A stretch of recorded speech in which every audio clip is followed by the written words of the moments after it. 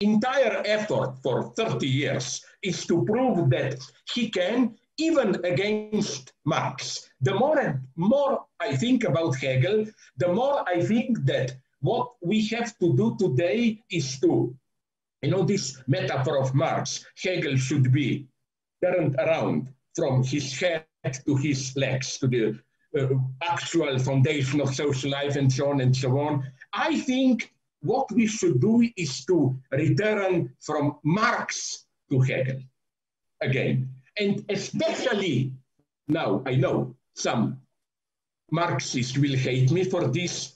I especially reject Marxist thesis 11.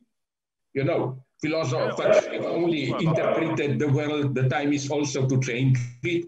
Uh, shouldn't our thesis 11 today be maybe in the 20th century, we tried a little bit too quickly to change reality. The time has come with all the confusion today, social problems, ecological problems, to step back and to interpret the world again in a new way.